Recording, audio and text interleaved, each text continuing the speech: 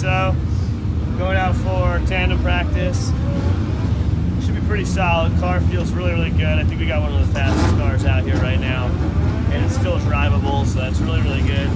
Uh, we'll see what everybody else does for times and speeds, and kind of, uh, you know, gauge what we need to do to the car. But I think we're pretty much uh, in our top four setup right now, and it's still drivable, so I'm pretty excited about that. So we'll see how it goes. Thank you.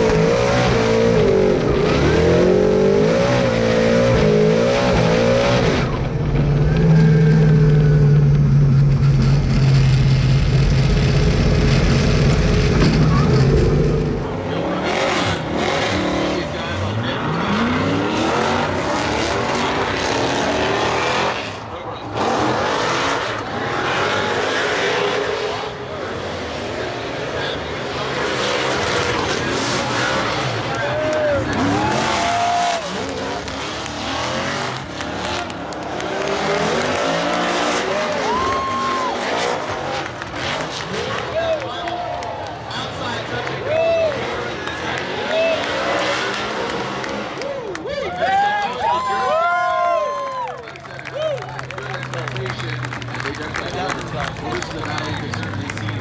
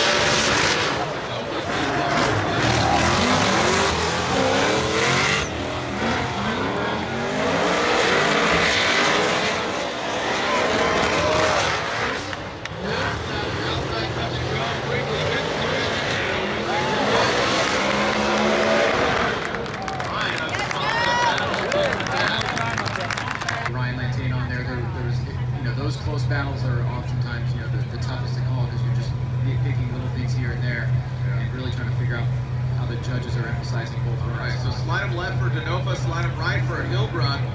And remember Heilbrun, oh, look at that. Ryan says Alex Heilbrun. Ryan says Chelsea DeNofa, so Andy here again. Majority rules. Andy says oh, Alex Heilbrun. Come on.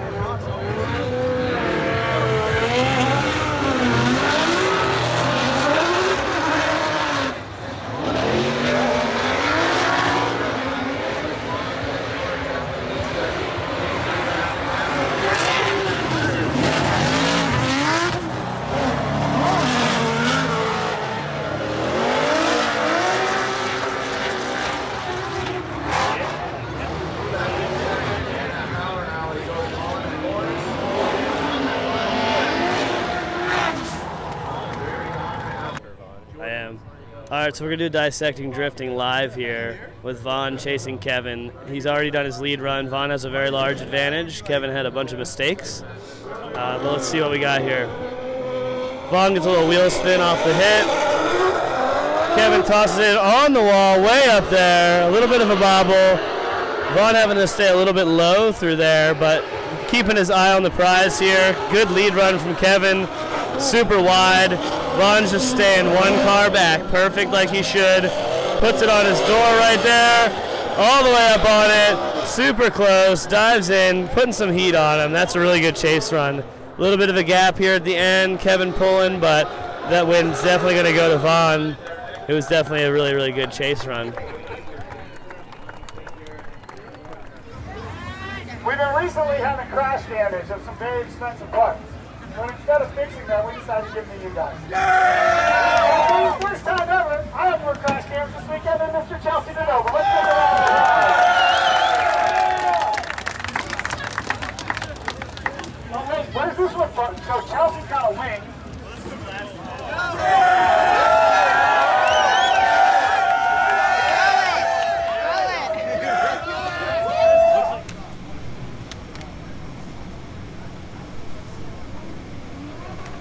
Good. Right, so we just ran top 32 against Heilbrun, and we stuck to the plan, did everything we were supposed to do. Um, I got into the first turn, the chase first. Uh, I ran a little bit of a shallower line because uh, he was actually pulling me a little bit, and I wanted to catch up. We finished the bank, came down, drove right up to his door, through the inner clip, stayed on his door all the way through the second uh, second turn. I was just as deep as he was on line, all the way around. Stayed right on his door all the way through inner clip two, transitioned right back onto his door again. I washed out just a little bit, got to the back bumper of his car and finished the run at the back bumper of his car, uh, maybe about a, a, car length back. Um, the first three quarters of the run were pretty textbook, exactly kind of what we needed. Uh, and then on the lead run, I went out and ran the best lead run I physically could. Um, I guess uh, I didn't hit any clips. Uh, I mean, I picked all the clips up. I didn't knock any of them over. Um, was wide everywhere I needed to be wide. You know, it was a good, really clean uh, lead run. No, no real mistakes. Uh, but uh, for some reason, he ended up getting the win. I mean, I don't really know why the call was made. I don't really want to overturn it or, or go and uh, protest it or anything, but he hit the inner clip on the lead and the follow run across in front of the judges. He had to shallow up a bunch on the second turn. Um, and the only thing that he, I think, did better than I did in the chase was uh, he didn't do that little washout in the last turn, and he stayed near me, but not quite on me.